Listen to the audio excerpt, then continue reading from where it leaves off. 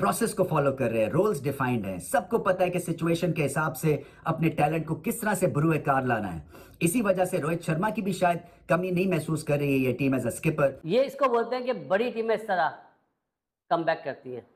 पाकिस्तान का जो मैच हुआ था, एक सौ उन्नीस रन वाला न्यूयॉर्क में वो लगा भाई ये आदमी कौन है? ये क्या खाता है? ये कहाँ रहता है? ये कहाँ पीता है? ये कहाँ सोता है? सुबह शाम की वीडियो में हम लोग दूध जलेबी की बात कर रहे थे। ये क्या दूध जलेबी की नहर में डुबकियाँ लगाता है जिसका नाम Surya Kumar Yadav. On their own अगर आप पतिराना को मैच विनर होना है श्रीलंका के लिए नहीं वो अभी लीडरशिप का रोल ले सकते हैं या थिक्शना को ओवर यार श्रीलंका वालों क्या सोच रहे थे तुम लोग? इंडिया को हराने जा रहे थे। अब भूल के सामने इंडिया खड़ा हुआ है हम। पाकिस्तानी अभी तक रो रहे हैं हम इंडिया को नहीं हरा पाए। और श्रीलंका ने हराना इंडिया को। It's about the mentality it's about the approach कि नहीं हमने आखिरी बॉल तक लड़ाई करनी है।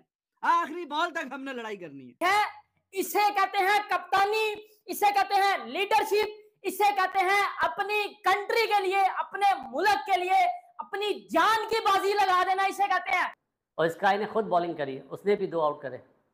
और पाँच रन मतलब मैं तो पाँच रन बोलता हूँ लोग बोलते हैं छह रन छह रन बचाने थे उसने सुपर ओवर पे मैच ले गया श्रीलंका के मुँह से ये नवाला छीना है जीत का और मैं कहता हूँ कि मज़ा आ गया यार ये वो टीम है जो हमें हैरान करने से बाज ही नहीं आ रही बार बार हैरान कर रही और अभी ये जिस तरह की बड़ी डिफीट आपको लगता है कि इनकी भी क्रिकेट ऑन स्टेक है? हाँ असल में इनकी जो गेम को परखने की है ना अहलियत वो कमज़ोर है। अनबिलीवेबल को बिलीवेबल करके दिखाया। भाई सूर्या कुमार यादव ने कहा भाई मैं हूँ परेशान होने की ज़रूरत नहीं है घबराना नहीं है आपने।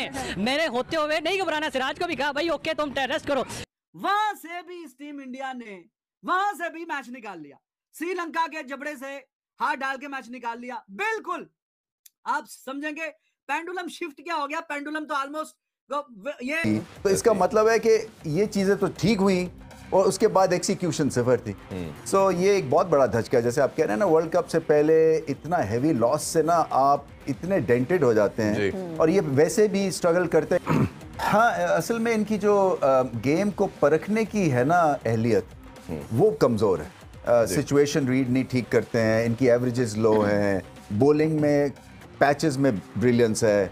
फिर वो ज़्यादा लीग क्रिकेट की तरफ़ इनके ज़्यादा रुझान है। वहाँ जाके आउटस्टैंडिंग खेलते हैं जब चार पाँच और अच्छे प्रोफेशनल्स में खेलते हैं। ऑन देयर ओन अगर आप पतिराना को मैच विनर होना है श्रीलंका के लिए नहीं वो अभी लीडरशिप का रोल ले सकते या थिक्शना को या खैर विलाल लगे तो नए हैं। बट इनका कोई ऐसा नहीं है एक क्रिकेटर जैसे सरत जयसूर्या थे जैसे संगाकारा थे जैसे दो एक थे मुरलीधरन थे। जो कि खुद से अपने लीडर थे और टीम को उठाते थे। तो इनको इसीलिए ये वॉचेबल कम से कम होती जा रही है श्रीलंका की क्रिकेट क्योंकि अनऑर्थोडॉक्सी एक आधी दिख और इंडिया ने दिखाया कि वर्ल्ड चैंपियन कैसे खेलते हैं। आप सारी चीज़ें आप देखें उनकी परफेक्ट गेम अवेयरनेस कंडीशन के मुताबिक डिसीज़न लेना और प्रेशर को कैसे हैंडल करना। तो ये टीमें ऐसी बनती है। आप इस टीम को देखें ये 2026 तक ये कितनी मच्योर टीम हो जाएगी कितनी बैलेंस टीम हो जाएगी। इस टीम में अभी दुबे नहीं है बुमराह नहीं है, आप देखें। कुलदीप नहीं है। तो आप देखें कि इस टीम का बैलेंस देखें। नाम देखें ग्यारह के। तो कितनी ज़बरदस्त टीम बन रही है। गिल नहीं खेला। तो यही एक अच्छी चीज़ है कि टीम को उसके मुताबिक तैयार कर रहे हैं। प्रेशर में कैसे निकलना है, कैसे खिलाना तो यही मेरे ख्याल से अच्छी चीज़ है जो अर्ली ऑन टीम मैनेजमेंट कर रही है। गौतम और स्काई जैसे डिसीज़न ले रहे हैं, जैसे खिला रहे हैं टीम को। तो अच्छी सीरीज़ जीते हैं। की तरफ़ मारा। रिंकू दादा ने आज बॉलिंग भी अच्छी करी और बैटिंग भी अच्छी। बैटिंग ऐसी अच्छी करी कि आराम से खेलना चाहिए था, लेकिन नहीं कर पाए। सबसे बड़ी बात है कि सिराज का ओवर नहीं हुआ आज। तीन ओवर में ग्यारह रन दिए थे और स्काई ने खुद बॉलिंग करी, उसने भी दो आउट करे। और पाँच रन मतलब मैं तो पाँच रन बोलता हूँ, लोग बोलते हैं छः रन छः रन बचाने थे, उसने सुपर ओवर पे मैच ले गया ये इसको बोलते हैं कि बड़ी टीम टीमें इस तरह कम बैक करती है। पाकिस्तान का जो मैच हुआ था, एक सौ उन्नीस रन वाला न्यूयॉर्क में, वो याद आ गई और फाइनल जब क्लासन मार रहा था, उसके बाद पांड्या ने किस तरह कम बैक करा था।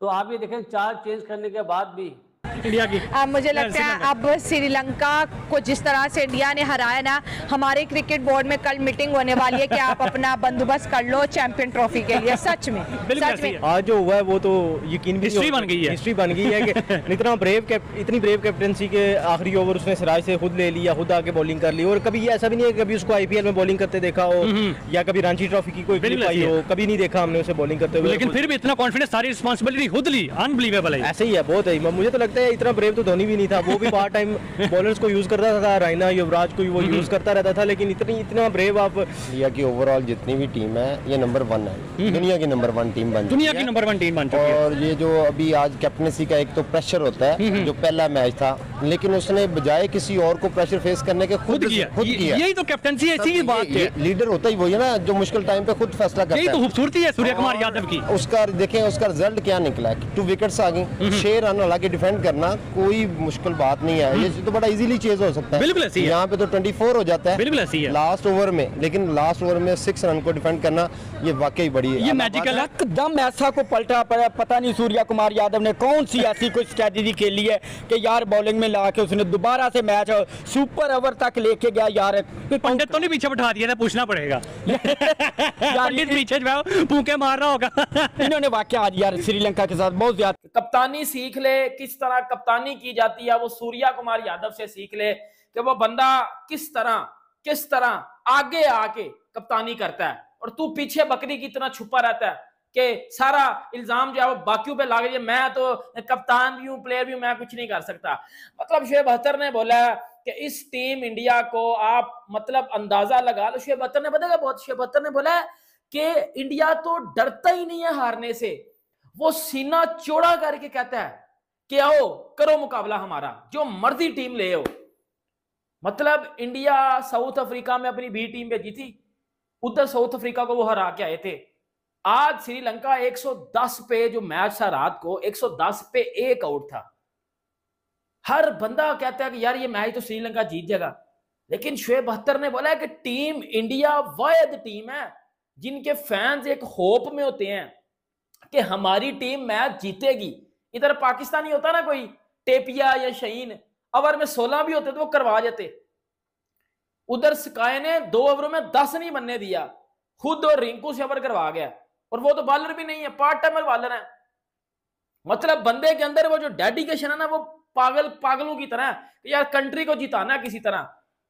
मतलब रमीज राजा ने पता क्या बोला है? रमीज राजा ने बोला है कि इंडियन टीम अब पिछले एक महीने से चले और वर्ल्ड कप से लेके अभी तक ये टीम लास्ट बॉल तक लड़ती है।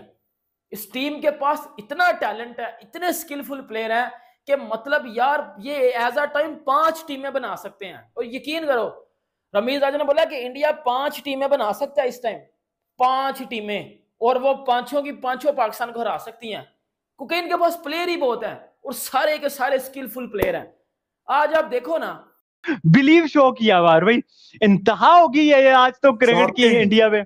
शॉकिंग लफ्ज जो है ना वो बिल्कुल गलत नहीं होगा।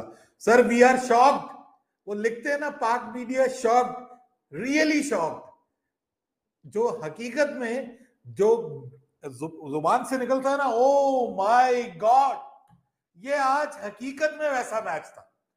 क्या कमाल का unbelievable display of captaincy display of sportsmanship और डिस्प्ले ऑफ़ बॉलिंग यार, कहाँ से मैच को पकड़ा है और किस तरह से मैच को उड़ा के रख दिया है श्रीलंका की, के जिसको आप कहते ना कि जबड़े के अंदर से, श्रीलंका के मुँह से ये नवाला छीना है जीत का। और मैं कहता हूँ कि मज़ा आ गया यार, ये वो टीम है जो हमें हैरान करने से बाज ही नहीं आ रही बार बार हैरान कर रही है, क्या कॉम्बिनेशन खिलाया? कॉम्बिनेशन में भी चेंजिंग उसके बाद प्लानिंग में भी चेंजिंग एक्सपेरिमेंटेशन एक के बाद एक एक्सपेरिमेंट उसके बावजूद at the end of the day they are the champions they are the winners they have clean swept Sri Lanka in their home ground before their home crowd what a big win देखो कि दो बॉलों पे दो wicket उसने निकाली है। रिंकू सिंह ने विकेट निकाल ली। गौतम गंभीर तो सोच के सूर्या खुद सोच के बैठा हुआ था ये मैच हम हार जाएँगे। चांस लेकिन- लिया ना। लेकिन उसने चांस लिया उसने स्पिनर का चांस यही बात है रिस्क लो रिस्क लोगे तो भाई आपको रिज़ल्ट मिलेगा। या तो नेगेटिव या तो पॉजिटिव मतलब मिलेगा। और रिस्क लेने से ही भाई कामयाबी मुझे एक चीज़ बता दो। बाबर आज़म का कभी आखिरी ओवर खुद से करता बाबर भी तो बल्लेबाज है जैसे सूर्या बल्लेबाज है। बिल्कुल। मैं तो परेशान होके रह गया हालाँकि बाबर आज़म जिस तरह से सूर्या नेट में बॉलिंग करता है हर बल्लेबाज बॉलर होता है एक तरह से। लेकिन वो बॉलिंग क्यों नहीं करते? क्योंकि वो ऑफिशियल बॉलर नहीं होते। सूर्या